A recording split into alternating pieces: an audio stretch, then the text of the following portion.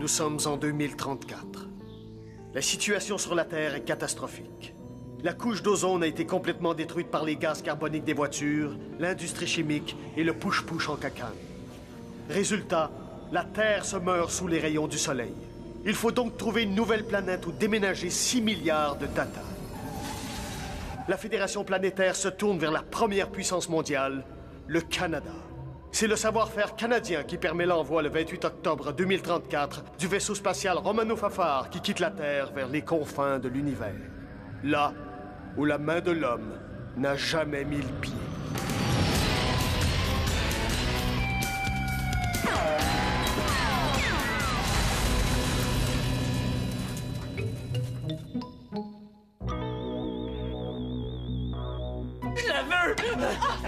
L'épisode précédent nous a montré les membres d'équipage victimes d'une terrible famine.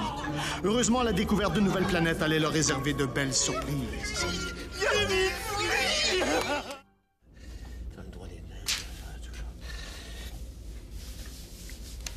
Ça va, Valence? Aïe, aïe, aïe, aïe, aïe, aïe, aïe, Valence, qu'est-ce qui te prend? J'ai faim! Flavien, Oui, un instant, capitaine. Bob! Lâche le chevreuil! J'en ai déjà mangé deux! non, je vous ai dit qu'on faisait d'abord les stocks de nourriture du vaisseau et qu'on mangeait après. On a fini de déshydrater assez de bouffe pour remplir les stocks, capitaine. On arrive. Terminé. Non, non, non, non, non. Non. Je la réhydrate même pas. Euh, c'est- c'est du sable, ça.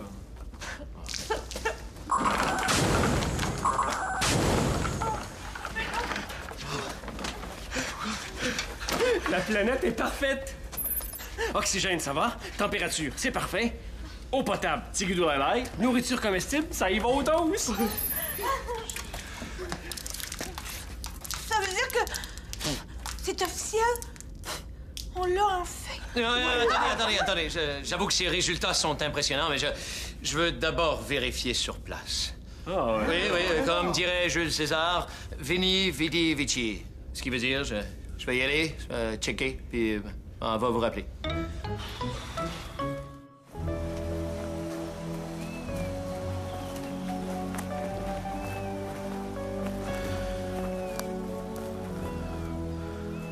C'est tellement beau.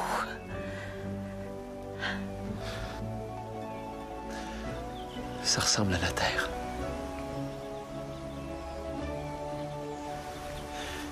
Jamais j'aurais pensé que...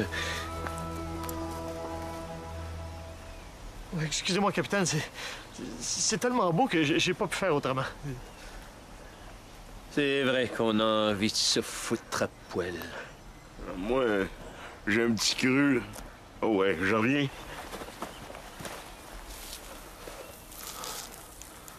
Le sol est riche. Et les animaux sont en santé. C'est extraordinaire! J'ai juste mis ma main dans l'eau. Regardez ce que j'ai pogné!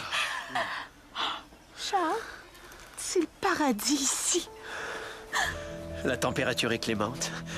La nourriture est abondante. L'air est pur. Le sol est couvert de végétaux. Oh, regarde. Les animaux semblent inoffensifs. C'est bien ce que je pensais. Tout le monde à bord. On évacue cette planète. Hein? Quoi? Oui, mais c'est arrivé combien de fois qu'on était sûr d'avoir trouvé la planète? Et finalement, on s'est rendu compte qu'elle était dangereuse. Vous êtes pas encore sûr d'avoir trouvé la bonne planète. On connaît pas encore assez cette planète. On va donc établir une surveillance 24 heures sur 24. Valence, que tous ceux qui sont descendus sur la planète passent sous le scanner. Je veux voir si on traîne pas des bactéries. Euh, Charles, j'aimerais ça te dire deux mots avant. Savez-vous c'est quoi votre problème, Charles Patnaud? Hey, Vous avez peur que la mission se termine et que vous ayez plus personne à commander. Si tu veux qu'on se voit, c'est le temps. Viens dans mon bureau, là. Oh, Je m'excuse, mais nous refusons cette décision. Et on va manifester. Non à la mondialisation, non aux OGM, puis non à n'importe quoi d'autre que ça fait cool de dire non à. So, so, so. So, c'est ça, hot dog. So. Solidarité. Solidarité. Non, Flavien, assurez notre protection à Valence et à moi. Charles, c'est la bonne planète, un point, c'est tout. Puis ça sert à rien de chercher plus loin. Je vous demanderai de vous éloigner du périmètre de sécurité.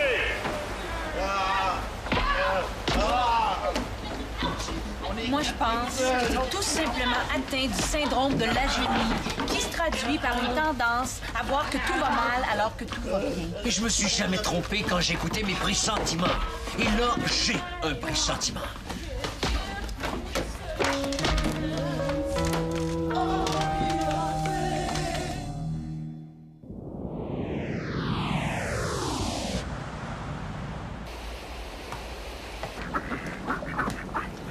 Capitaine? Flavien, je. Je veux. Capitaine, vo- euh, vos cheveux, ben, c'est. c'est- assez long, hein? Oui. Et j'aime ça. Ah. Vous êtes bien seul, parce que. Flavien, je. Je sais que je saute du coq au vin, mais je. Je veux vous remercier de m'être resté fidèle. Vous dire contre l'équipage qui manifestait. Mais justement, capitaine. euh, Oui. Non, c'est c'est rien. C'est Ah bon. c'est bon. C'est- tout est correct.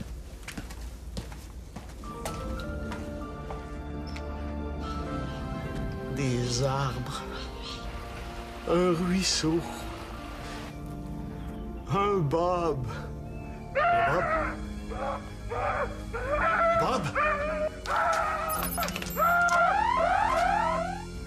J'aimerais mieux m'en retourner dans le vaisseau. Ma brassée de blanc doit être finie. Faudrait que je la mette dans la chasseuse. Vous vouliez venir sur la planète? Vous y êtes. Ça vous apprendra à protester. Bon, arrêtez! Arrêtez! Non, Brad!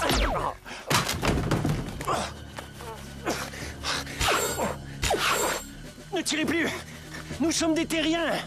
Ah ben, c'est un drôle de hasard. Nous autres aussi, on est des terriens. C'est quoi votre code postal? C'est moi, Flavien! Hey, faut le faire. On s'est tiré dessus. On a retrouvé un bout de la camisole de Bob. Oh, Je le savais. Je le savais, mais personne n'a voulu m'écouter. Cette planète est pas pour nous. Écoutez, C'est les E.T. Ils sont en train de digérer Bob. Faut tirer dans le tas. Vite, vite. Oh, euh, vous le faites ou je le fais? allez-y. Ça va vous faire pratiquer. Non, Brad. Euh, ouais, C'était bon, mais vous obtiendriez un meilleur effet en gardant le coude plié. S'il vous plaît. Oui, c'est vrai.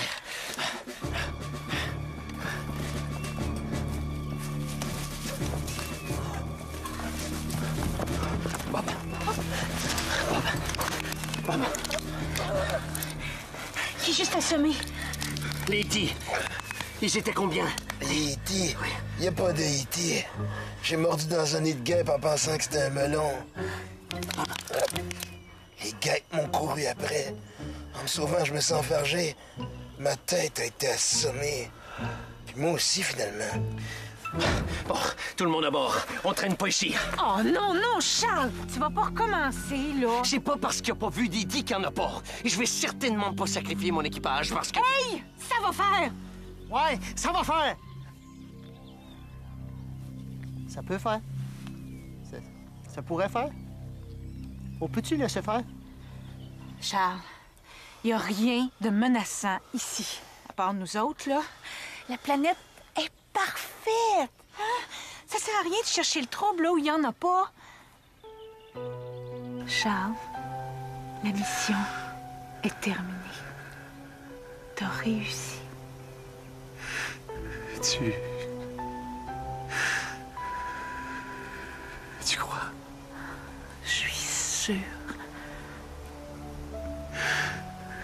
J'ai.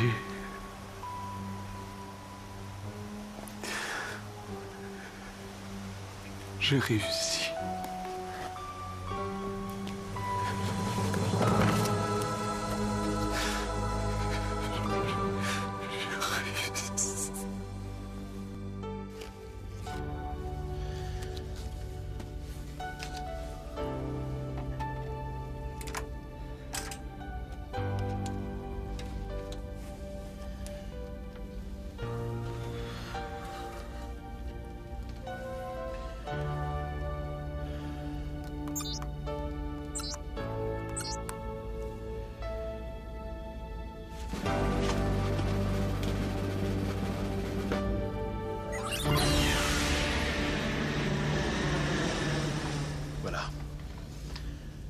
La fusée transportant les coordonnées de la planète vient de quitter en direction de la Terre.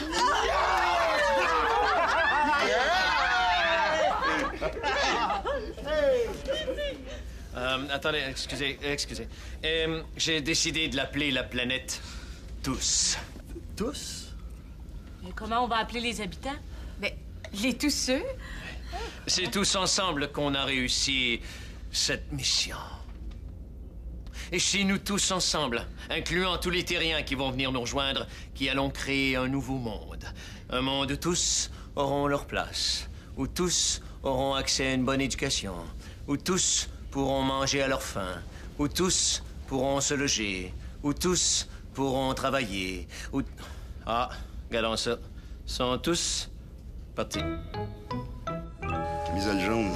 Le temps que les vaisseaux de transbordement arrivent, on a le temps en masse, Bob. De quoi vous parlez? Moi puis Bob, on s'en va en randonnée. Ah oui? Ouais. La main dans la, dans la main. Vos deux mains sortent ensemble? Ouais. Le, le- le reste aussi? Flavien, je partirai pas en randonnée. Petrolia puis moi, on, on veut se construire un chalet puis aller vivre ensemble le plus tôt possible. Ah bon? Je peux partir tout seul, hein, c'est... Je suis content pour vous deux. Oh! Merci. Pétrolier. Voyons. Et le SMAT qui a trouvé la planète veut vous voir. Je suis pas en mer. Moi, ça a l'air que le coup de matraque que Serge a reçu l'a complètement déréglé. Il vient de mort de Valence. Il est du taquin, mon Serge.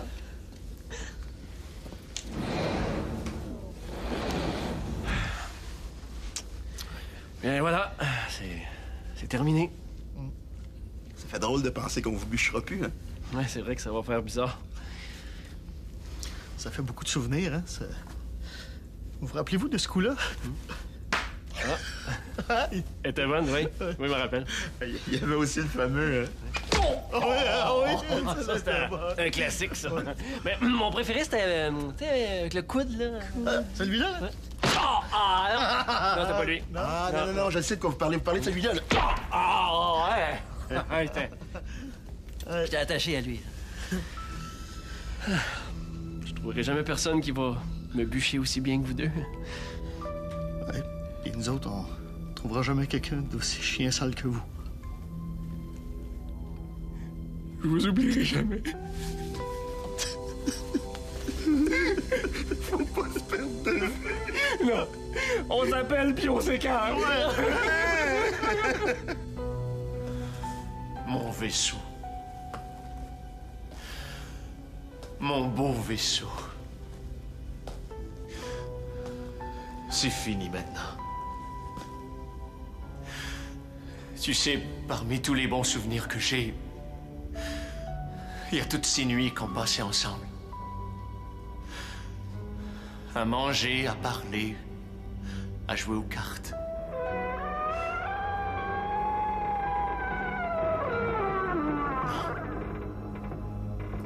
Non, t'as pas t'inquiéter. Tu seras jamais détruit. Ils vont te transformer en musée. Tu vas voir, tout va être bien.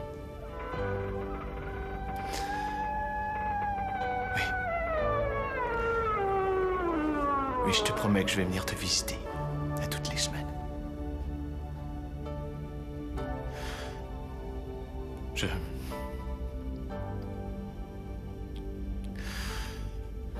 Je dois t'avouer que j'ai un peu peur que tout soit terminé. Je me demande ce qui va m'arriver. J'ai l'impression d'avoir donné les plus belles années de ma vie.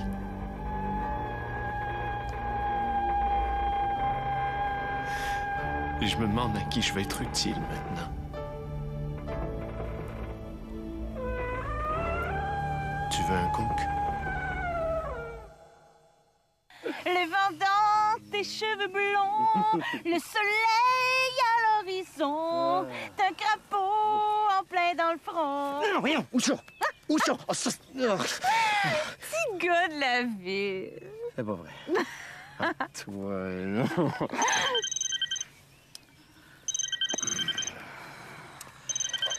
C'est Brad qui est de garde sur le vaisseau?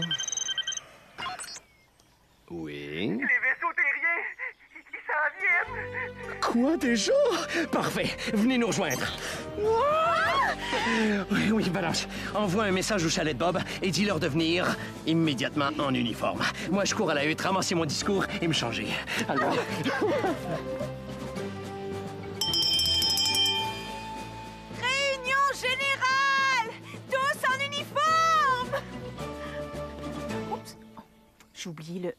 le de général. Réunion générale! Oui, euh, mais, mais, mes amis, ça a été difficile. Aussi difficile que de trouver une aiguille dans une botte de, de, de pompier. Les premiers vaisseaux terriens s'en viennent. ah! Ah non. Ah non, vous allez me raser cette barbe immédiatement. Euh, je sais pas ce qui s'est passé. C'est peut-être un petit fruit que j'ai mangé. Là. Oh, regardez! On est ici! On est ici! Hey, hey, attendez, attendez! C'est pas des vaisseaux de transbordement, ça, capitaine. C'est des vaisseaux de guerre! Il y a un vaisseau chinois et un vaisseau américain! Ils se tirent dessus!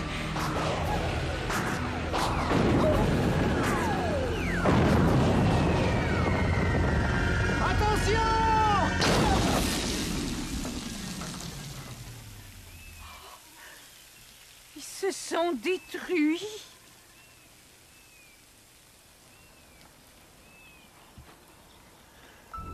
C'est déjà la guerre pour avoir les meilleures terres. Ces maudits terriens n'ont pas changé. Ils sont tapés pendant des siècles. Ils ont complètement pollué leur planète. Et là, ils se préparent à faire la même chose ici. Moi, je reste pas. Quoi? On a cherché pendant quatre ans. Au risque de notre vie. Une planète pour les accueillir. On l'a finalement trouvé. Et là, on va les regarder débarquer ici avec leurs armes, leurs usines et leurs bêtises humaines. Prêts à détruire cette planète pour laquelle on s'est tant battu. Cette planète à laquelle on a tant rêvé pour nous et pour eux.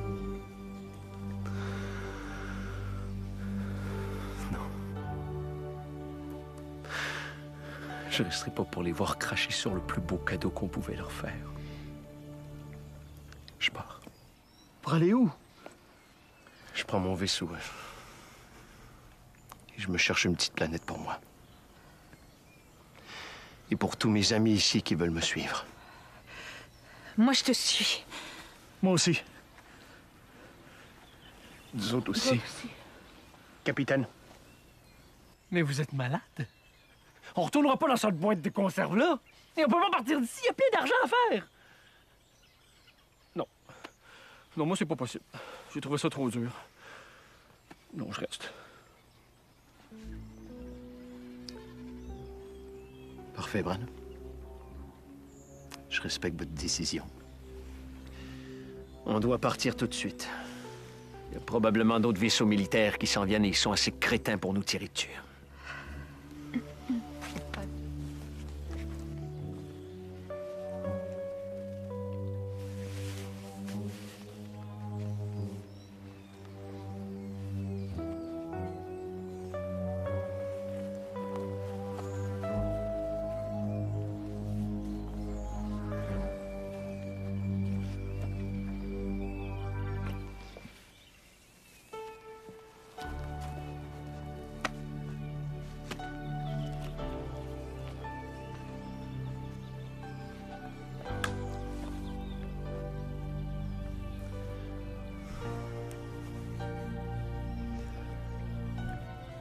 Voulais...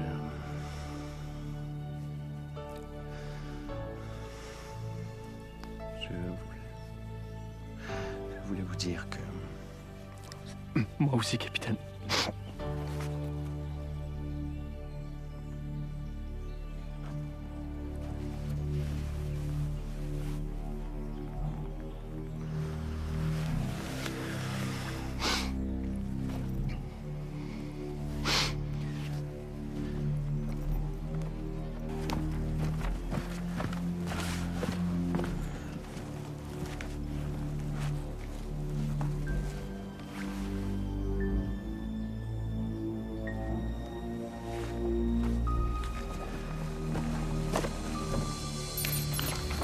Tout est prêt pour le départ, capitaine.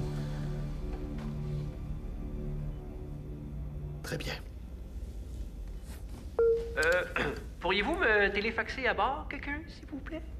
Ah, peut-être qu'il veut nous emprunter une tasse de sucre avant qu'on parte? Flavien.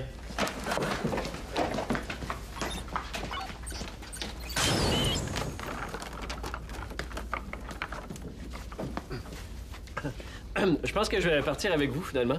Ah oui? Comment ça?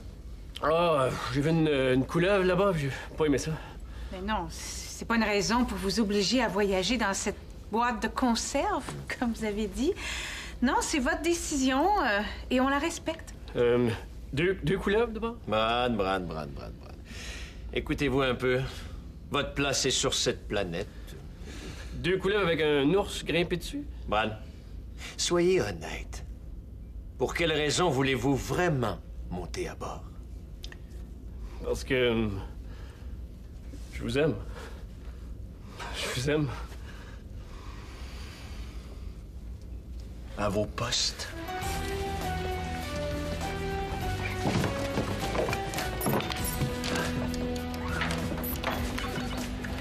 Par où on va, capitaine?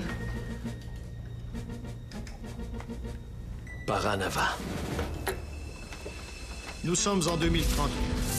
La situation sur la nouvelle planète découverte par le capitaine Patnaud s'annonce catastrophique. Cette seconde Terre risque en effet d'être progressivement détruite par la pollution, la guerre et le push-push en cacane. Dégoûté, le capitaine Patnaud confie donc une mission à son équipage. Il faut trouver une nouvelle planète où déménager sept Tata. Et c'est ainsi que le 28 octobre 2038, le Romano Fafard prend son envol vers les confins de l'univers. Là où, Dieu merci, la main de l'homme n'a encore jamais mis le pied.